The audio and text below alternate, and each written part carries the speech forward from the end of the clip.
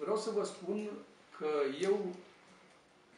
consider că în mare măsură consilierii locali lucrează cu sabia deasupra capului.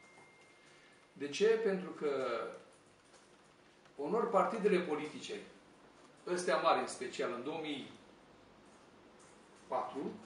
dacă nu greșesc, imediat o să vă zic, deci prin legea 393 din 2004, n-am greșit, marile partide politice care acum au atâtea probleme de imagine au gândit, au gândit să legea 393 din 2004 da. au stabilit că prin această lege ca uh, aleșii consilierii locali și județeni să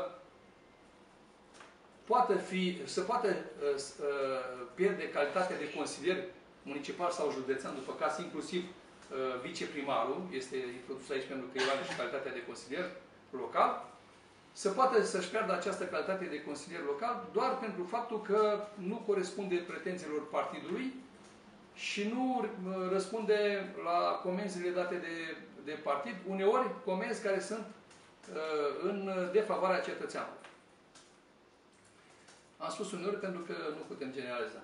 Și în aceste condiții, uh, consilierii, uh, consilierul li s-a tăiat elanul de a acționa liber în uh, favoarea cetățenilor, în cazul nostru Constanțeni, care i-a votat să ajungă în Consiliu și care și-a pus speranțe că uh, acești consilieri vor uh, acționa liber, după conștiința proprie, în uh, folosul societății și a cetățenilor. Ehm, nu vreau prin această poziție a mea să scuz neapărat colegii mei consilieri, ci vreau doar să ehm, vă dau exemplul meu propriu, care am trecut prin două etape de presiune asupra calității mele de consilier. Și să știți că în, acest, în această situație de presiune care se face asupra unui consilier, nu este ușor să acționezi și ești timorat să ai inițiative și să contribui cu uh, îndatorirea ta, cu datoria pe care o ai tu față de cetățeni, să îți expui ideile și să susții anumite proiecte de hotărâri care să fie în avantajul societății și a cetățenilor. Și vă amintesc aici, când am ieșit consilier pe uh, alianța APC, deci PNC, CD cu PDL, uh, la constituirea Consiliului Local, unii dintre foștii mei colegi de alianță de la PDL, s-au hotărât ei să facă un complot pentru a mă invalida. Adică atunci când s-a construit Consiliul Local,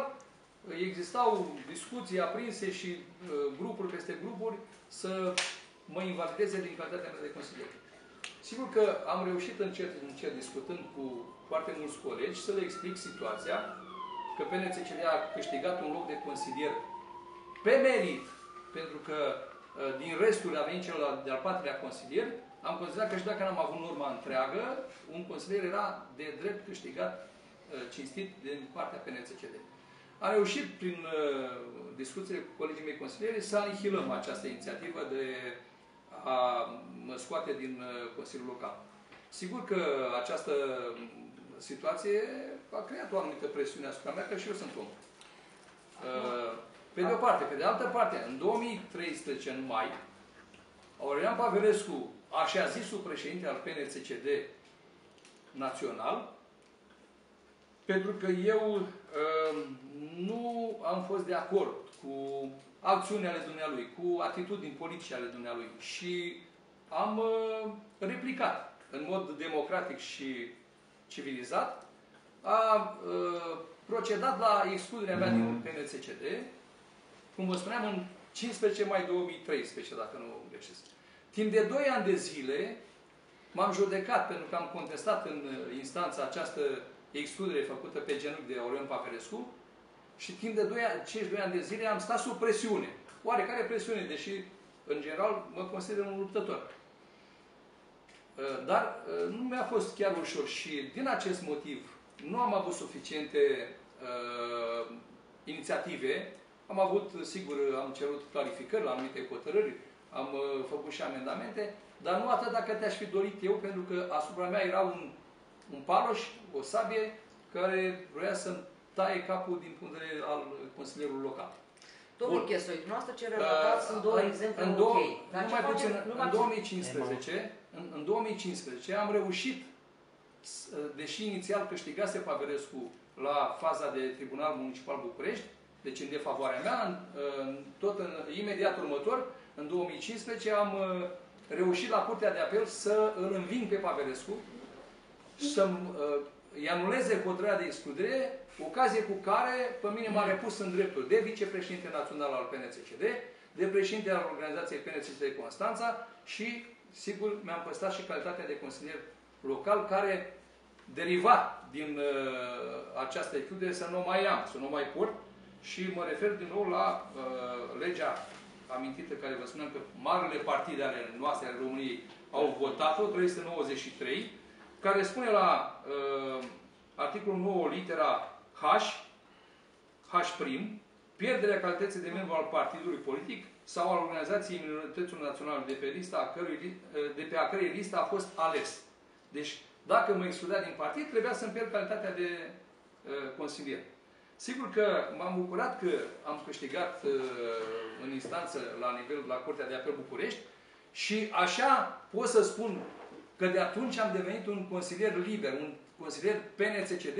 liber de presiuni politice din partea partidului meu sau altor partide. Uh, Din păcate, ca o paranteză, această lege este nedreaptă și este discriminatorie pentru că nu se referă și la parlamentari, la deputați, la senatori. Deci numai consiliere și viceprimarul. Consilieri județeni și municipal și viceprimar. Nu este o noutate, dar în contextul acesta am ținut să amintesc uh, această discriminare pe care o face uh, legea 393 din 2004.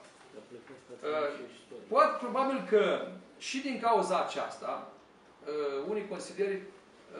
nu îndrăznesc mai mult pentru a se face publică activitatea lor ca și consilier municipal. Eu, așa cum vă spuneam, mi-am câștigat libertatea de consilier țărănist liber, acționez ca tare și iată că în consilii am avut inițiative care, uh, cu sprijinul colegilor, cu analiză corectă, zic eu,